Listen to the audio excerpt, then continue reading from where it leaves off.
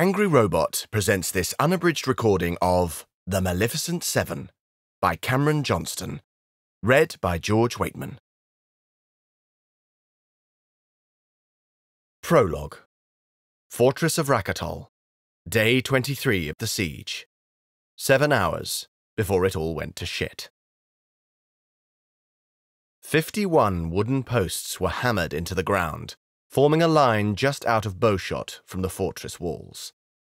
Just before sunset, roaring braziers were placed before each one, so both sides could witness the coming atrocity. The captured nobles were stripped naked and dragged kicking and screaming from their pens, then bound to the posts as their men watched, helpless and cowering behind the crumbling walls of the fortress. After five years of war, Black Herran had finally trapped most of the remaining royal families of Essoran and the remnants of their armies in Rakatol, and she was eager to display the horrors she had in store for them. The disparate rebels, outcasts, bandits, mercenaries, and monsters that made up her army were every bit as keen to watch their one time oppressors suffer. Black Herran, dread demonologist and supreme general, surveyed her army and smiled as any who met her gaze flinched and looked away. As dangerous as they were, it was good to remind them that she was far worse. They pushed and shoved and cursed one another, but did not dare draw steel. Only their bowel loosening terror of her held this army together. She stood with two of her captains, as 30,000 bloodthirsty men and monsters scrutinized the captives struggling against their bonds. Coin changed hands as bets were placed on who would last the longest. Black Herran ran a bejeweled hand through her short, red tipped hair and looked to her fair haired lover, who had refused all bets. Come now, Amaddon, she said. You are not usually this squeamish. Will you not choose one of their highnesses and make a wager with me? The warrior scowled and flicked a speck of dirt off his bright and shining breastplate. Most might be corrupt, but some fought bravely for what they believed in. Do you always have to be such a prig? Amaddon's older sister Maven said, her long dark hair wild and untamed in the wind. She was a powerful necromancer and Black Herran's right hand, far more important to the general than a bedwarmer like her brother, and she knew it. She shoved past him and flipped a gold coin into Black Herran's waiting hand. She pointed to a slender man in the middle of the line. I choose that one. He is saving his strength instead of wailing and struggling. He will die well. I have the far left, then, Black Herran replied, picking one at random. With that, the night's festivities began. As the sun sank below the horizon, the general's shadow demons slipped from cracks in the earth to pool at the feet of the captives. By flickering firelight, her army watched liquid darkness rise up the wooden posts and form razor sharp teeth and claws. They cheered as the devouring began, jeering as their once overlords screamed their throats red raw. Her demons started with the toes and slowly ate their way upwards, stripping off skin and fat before gnawing on muscle and bone. The little sister of her two captains, Grace, chose that moment to slip through the cheering throng towards her siblings. In one hand, she carried a platter of cheese and cured meats, while the other clutched a much patched brown sackcloth horse with one eye. She was golden haired and beautiful despite the plain dress and sooty smears. None of the hardened killers in the army dared to even look at her, in case Maven's dark magic rotted the offending eyes right out of their sockets. Grace tutted. You forget to eat, my sillies. You have to keep your strength up to fight the bad people. Amaddon hissed and moved to block her view of the fortress and the ongoing atrocity. I told you to stay inside our tent. Maven rolled her eyes, I asked her to fetch us food. Stop coddling her. This is the world Grace lives in, and she is capable of dealing with a little blood. Her brother's face flushed an angry red, and he reached out for his older sister's throat. Grace shoved the platter into his hand instead. Maven smirked, knowing he would never truly lay a finger on her in front of their sister. Losing Grace's affection would destroy him. As much as they had disagreed on what was best for Grace, both would die before they let anything else hurt her. And they had ensured that everybody who tried had died. The necromancer yelled encouragement to the screaming captives and grinned, her eyes unblinking as she took in the spectacle. Amadden's face twisted in disgust as he watched his sister. His hand twitched around the hilt of the sword sheathed at his waist. If Grace didn't love you, he muttered through clenched teeth. Grace's eyes were blank as they scanned across the horror of dying, devoured nobles, then flickered back into life as she met Black Herran's gaze. Make sure you eat too. Keeping this army in line must be tiring. Black Herran sighed. Grace always had a way of seeing the truth of things.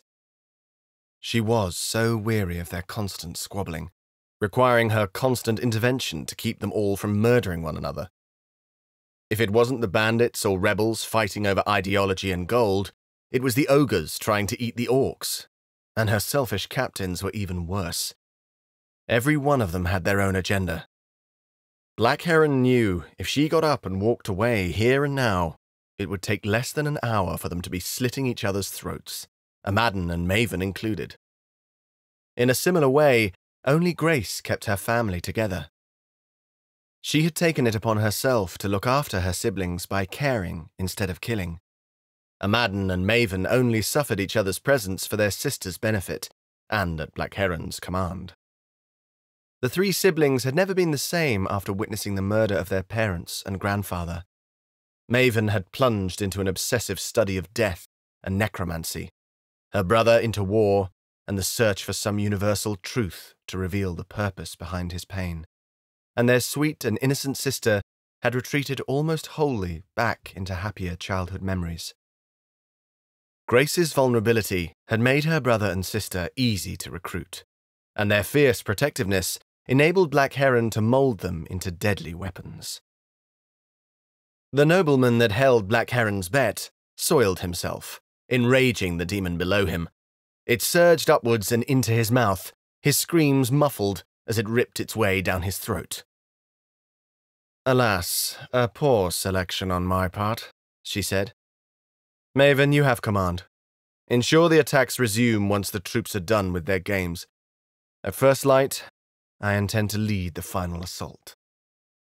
Black Herran headed for her command tent, and Amadden followed, his eyes filled half with adoration and half with fear. Just the way she liked her men, but not what she needed right then. She slapped a hand on his breastplate. No, go and see to the army, and your sisters. Back in the command tent, Black Herran slumped into her chair and savoured the relative peace and quiet. It didn't last.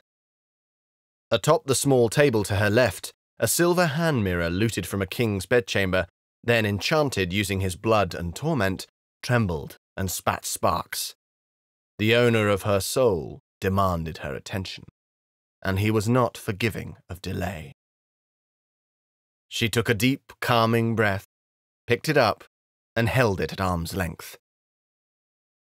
Her reflection rippled and faded as another took its place, this one far from human. Furnace hot winds blew through the mirror, carrying the brimstone stench of Hellwrath and the cries of tortured souls. Atop a throne of glistening bone and stretched, still living human skin, lounged a bloated toad the size of a warhorse, with eyes and a tongue of flame. Duke Shem-Harai of Hellwrath, the mighty demon lord who had granted Black Herran immense power in exchange for her soul. His sheer presence hit her like a hammer to the face, but she endured and hardened her expression. It was never wise to show weakness to a demon. Behind the throne loomed his fearsome general, Malefer, a titanic armored monster covered in red scales something between man and crocodile that was ever ravenous. My precious mortal puppet, Shemharai said, purple lips smacking and spraying spittle. Soon you will have all that you desire. You will finally uphold your end of the bargain and open the ways to Helrath and my conquest of your world.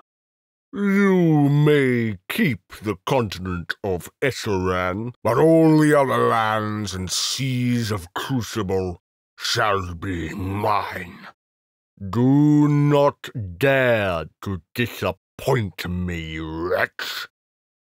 His burning eyes dipped towards her belly, and his misshapen nose twitched. I smell you are with spawn. He licked his lips. A delectable morsel. Should you wish to sell it? You will get everything you are due, mighty Duke, she replied, eyes lowered. That I promise. The Duke wheezed a laugh and waved a webbed hand. The image in the mirror rippled and reformed into her own sour expression. She sagged into a chair, relieved his overwhelming presence had departed. Duke Shemharai was greedy for blood and souls to fuel his never ending war with the other great powers of Helrath, and that had made him easy to manipulate.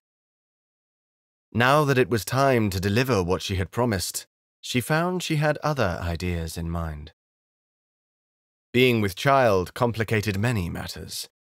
Nobody but her had known, and while she had yet to discover any shred of maternal instinct, it had got her thinking about a future beyond this brutal war of hers. She had been blind, obsessed with revenge and conquest for so very long that she had not stopped to consider anything past her victory. What would she actually do after becoming Empress of Essoran? A mortal ruler in a world that would become a feeding ground for the demons of Helrath? She sat in the darkness of her command tent, nursing a goblet of cooling blood, listening to the raucous music of the siege as it entered the final few hours. The distant screams of dying men did not hold the luster they once had and the prospect of imminent victory roused little joy in her heart. The entire continent of Essoran lay like glittering jewels in the palm of her hand, and she felt nothing. She was just going through the motions. This wicked world of Crucible had not seen might like hers in an age, and yet it all seemed so petty now. We hope you enjoyed this preview. To continue listening to this audiobook on Google Play Books, use the link in the video description.